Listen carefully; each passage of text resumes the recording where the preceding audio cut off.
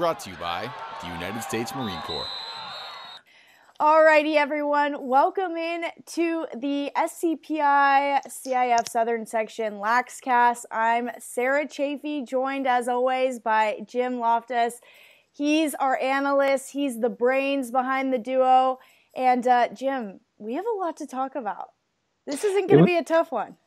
It was a pretty busy week. There's uh, there's there's a lot of uh, a lot of stuff going on early on in the season. Absolutely. So we'll start as we usually do with our top 10 rankings, and uh, we'll kind of go through that and uh, explain it to you guys. So we'll start with our SCPI CIF Southern Section boys top 10 rankings, and uh, there's some movement. So we're going to work through this with you guys, but we'll start with number 10. You can see we have Westlake, 9, Tesoro, 8, Palos Verdes, 7, Oaks Christian, 6, Chaminade, 5 Harvard Westlake, 4 Corona Del Mar, 3 St. Margaret's, and then 2 Loyola, and holding it down at the number one spot is Foothill. So, first things first, Jim, I want to talk about we had two teams drop out. So, Santa Margarita and San Clemente. So, for those wondering, give some reasoning behind why those two teams didn't make our top 10 ranking this week? Well, the biggest reason San Clemente dropped out is they haven't played. The, the, they have they're one and zero. The win was against Thousand Oaks from up here in this area. Uh, opening game of the season for both teams. It was, I believe, ten to eight. Uh, San Clemente um, and Thousand Oaks has now gone 0 and 5 um, against a, a, really tough schedule. Give them credit for for scheduling really tough, but it makes you wonder how how heavy to value that San Clemente victory. And there's only one game.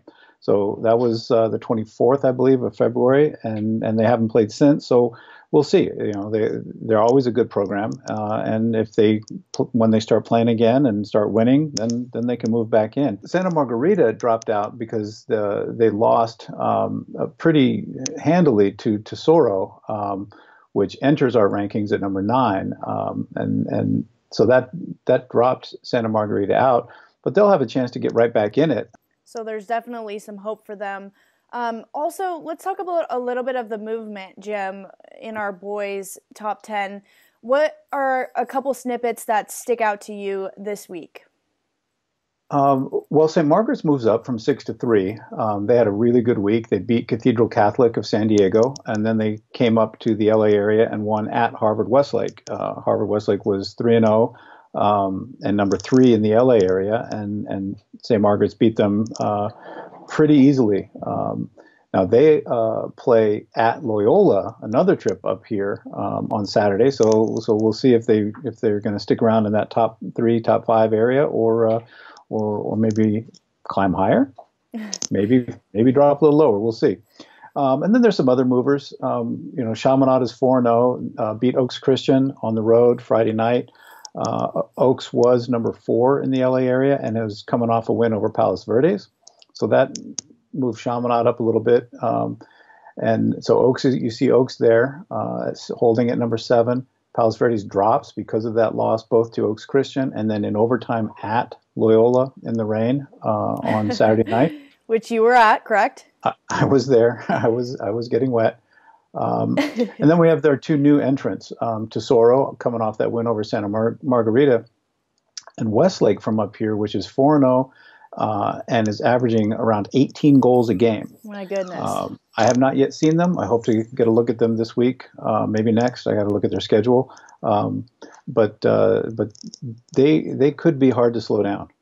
Another team that's averaging a, a, large sum of goals per game would be our number one team, Jim. That's Foothill. They're five and zero. Oh. They're averaging 14 goals per game, and uh, they've scored at least 12 in every game so far. What's it going to take to top Foothill, or, or do you see any? Do you foresee that even happening? Oh, I think there's definitely teams, some teams that can beat them. As we talked about last week, Loyola took them to overtime and was actually leading in that game, and, and it was Foothill that mounted the comeback and, and forced OT.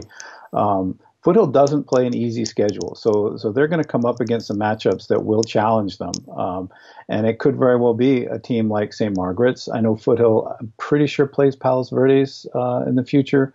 Um, Corona del Mar. Um, so there will be opportunities for someone to try to knock them off the, the top of the hill.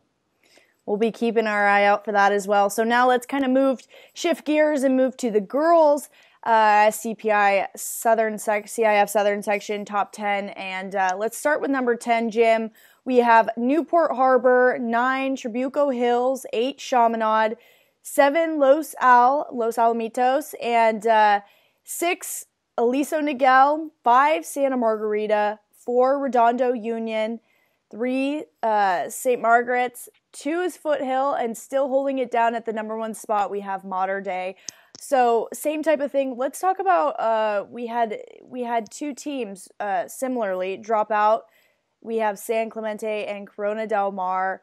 Uh, CDM they lost twice, so I mean that's that's kind of explains why they fell out. Talk to us about why San Clemente's out. San Clemente's out. Um, mostly, I mean they they they also lost twice at Aliso Niguel. It was overtime, uh, and at San Juan Hills but mostly they drop out because a couple people, a couple other teams needed to jump in, uh, d- deserved mention, and there's only 10 slots, so somebody had to get bumped.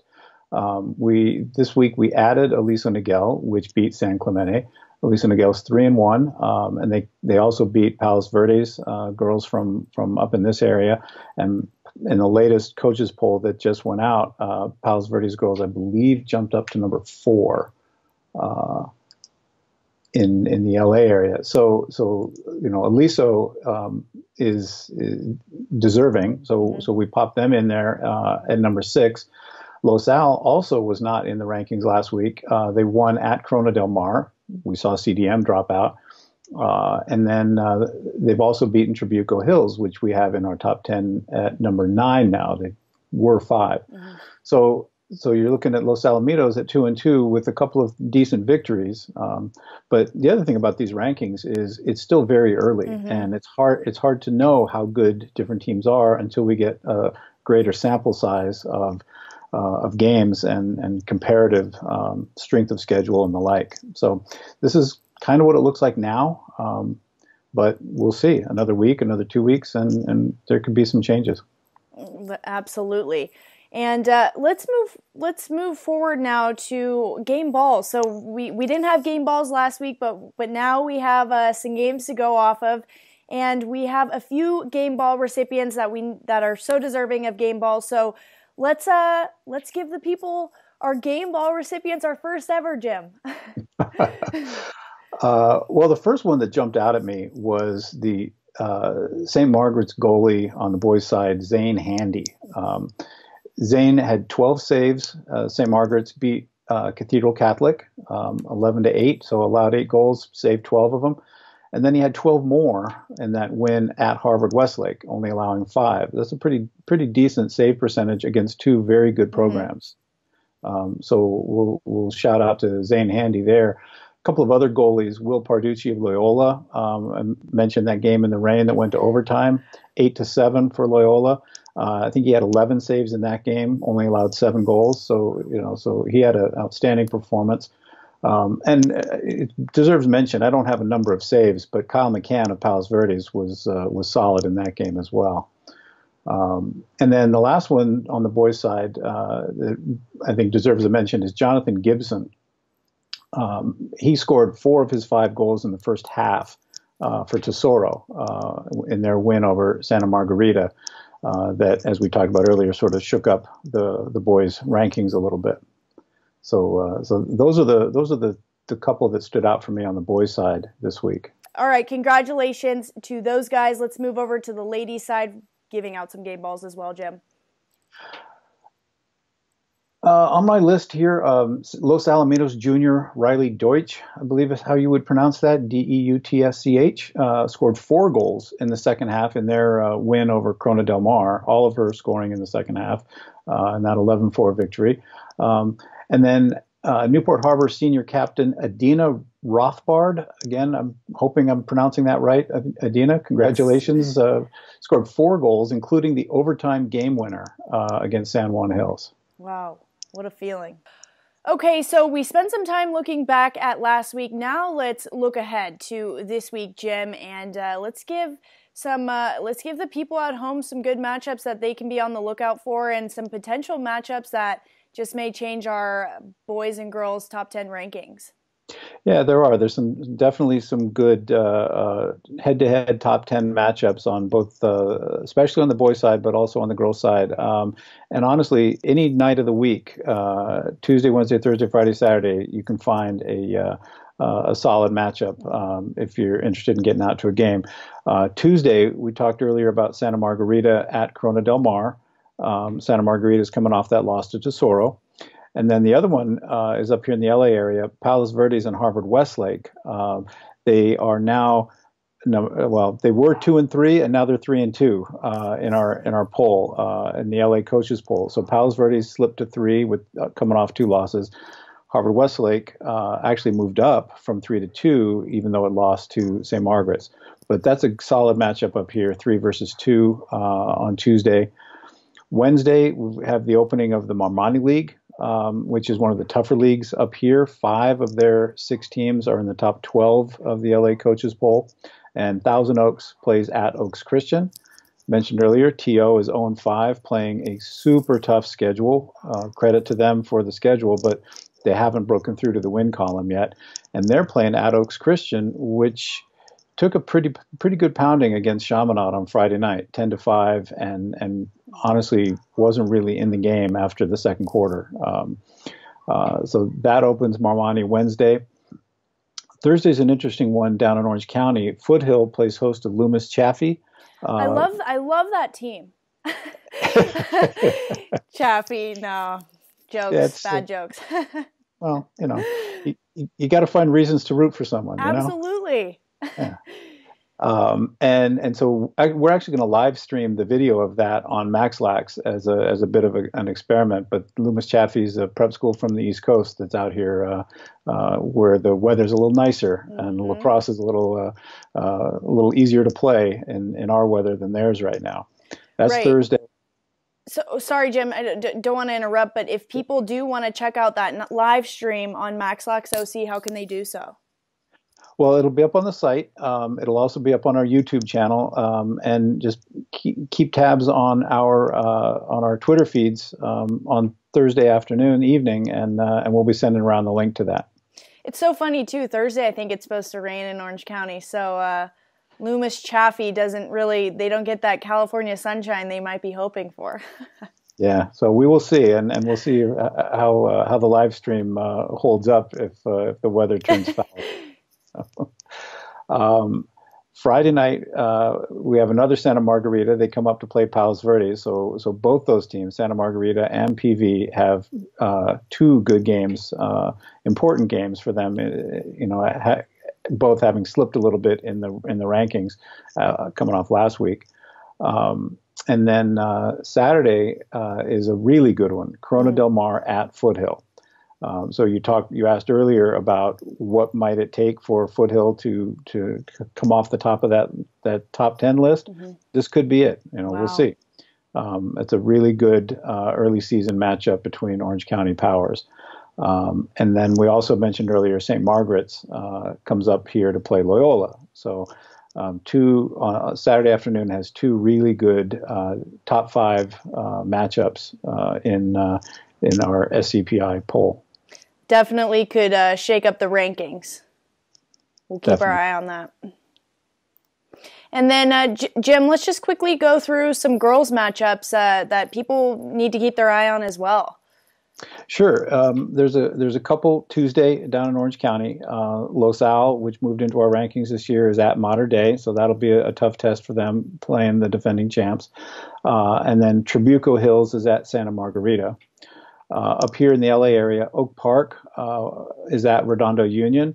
Redondo was actually unanimous number one in the LA coaches poll that went out today, but Oak Park is still there in the top five. Uh, um, I think they were they were either four or five. Um, looking that up now, real quick.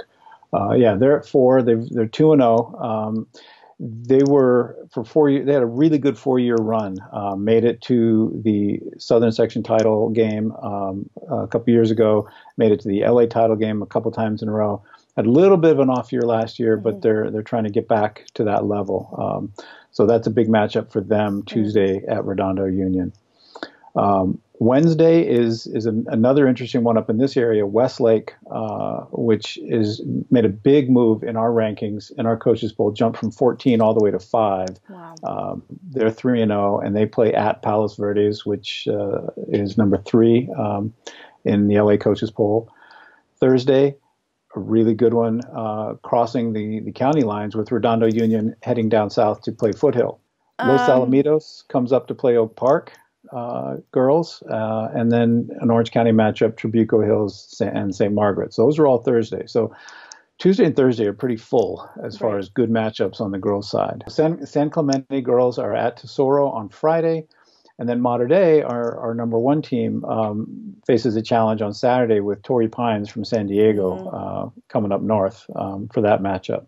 So there's good games on, on both boys and girls every night or day of the week. Um, Tuesday through Saturday. So really, there's no excuse to not get out and watch a good lacrosse game this week. Uh, it's a it's a full schedule. We'll have a lot to talk about next week, Jim. But uh, gosh, you've just been a wealth of knowledge this week. And um, I just want to kind of go over one more time. You know, how can people live stream this game that you guys are doing? Um, it, one more time for for everyone.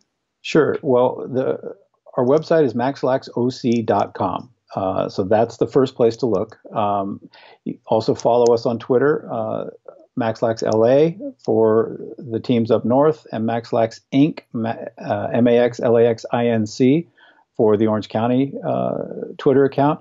That will certainly be uh, distributing links to the live stream. Um, generally, we host that on through a YouTube channel, um, uh, so you can you can find us on the the MaxLax YouTube channel as well. Um, we try to be we try to be everywhere, uh, easy to find. Um, you know, Google is your friend. hey, I agree with that.